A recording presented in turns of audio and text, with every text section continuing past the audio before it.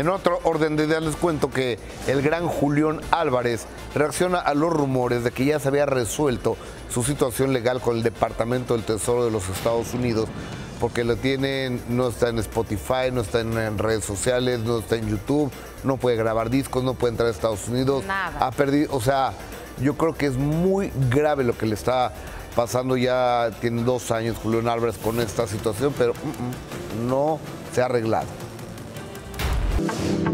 Luego de varios rumores de haber finiquitado su situación con el Departamento del Tesoro en Estados Unidos, Julián Álvarez aclaró a los medios si ya pudo resolver su conflicto legal. Yo incluso, incluso yo me, reporté con los, con los este, licenciados, los abogados de, Estados Unidos y les dije, oiga, si no, si ya hay algo y, no me han avisado, dígame. O sea, queriendo esperar una buena, buena noticia. Dice, desgraciadamente no podemos este, darle esa respuesta a usted y, dice, seguimos en la misma, en la misma situación acabamos de mandar el último cuestionario que, se le hizo llegar por parte de OFA y este y pues no pasó nada. Afortunadamente, nada detiene su paso y sigue llenando conciertos en cualquier parte del país. Nos sentimos muy, muy, muy, muy, y lo hemos platicado con todos los, los, integrantes de la, de la, banda, somos muy bendecidos, oiga, muchísimo, muy bendecidos, que, que digo, desgraciadamente desgraciadamente, desafortunadamente, todavía no podemos tener esas, esas libertades y esas este, herramientas que cualquier otro artista puede tener. Y nosotros este, pues, seguimos luchando, seguimos trabajando, pero gracias a Dios tenemos muy buenos eventos. Que, eso, ¿con qué lo pagamos? ¿Cómo no, no sentirnos afortunados y bendecidos? Somos ahora sí que, repito, muy bendecido, muy, muy, muy. Julián Álvarez lanzó su nuevo sencillo llamado Más te recuerdo, que rápidamente se ha colocado en el gusto de la gente. Vengo muy contento de incluso de, estuvimos en las presentaciones de la fiesta de octubre, en, el cierre que fue, bueno, uno, de los eventos del cierre, que la, teníamos una semana y la gente ya lo quería cantar.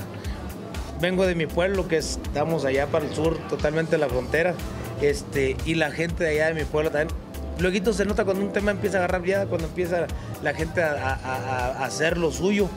Y este. Y pues venimos contentos esperando a ver que, ahora esta noche a ver qué, qué, sorpresa nos tiene el tema, a ver qué ha logrado. El chiapaneco no cabe de la emoción, y no solo por su nueva canción, también por el próximo nacimiento de su segundo bebé a finales de este año. Yo sigo con lo mismo, yo creo, y casi, casi aseguro y lo comparto así que, que niña. Este, ya estamos ahorita ya los, precisamente en la recta final, que ya, ya estamos, mi mujer muy gordita, cansada de, la panza, no hace quejas y quejas de que ya se cansa mucho. Este, y, pues ya, ya prontito, ya estamos esperando que, antes de Navidad estemos con frío nuevo. Soy Frío Machuca, seguimos en Sale el Sol. Fíjate que sí, como dices, hubo rumores, pero él siempre es muy honesto y dice, yo que más quisiera, pero no se ha resuelto hasta el día de hoy. Y bueno, pues si hay una investigación, ellos han cooperado con todos los datos, se ha seguido la investigación, pero no la dan por Eso creemos nosotros. Eso dijo Julio, ¿no? Que, o sea, que todo lo que le han solicitado las autoridades, él lo ha presentado. ¿Y por qué no lo sacan de la lista?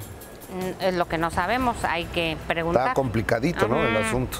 Aquí en México no tiene ningún delito que se le persiga. En Estados Unidos eh, lo tienen vinculado con personas no gratas.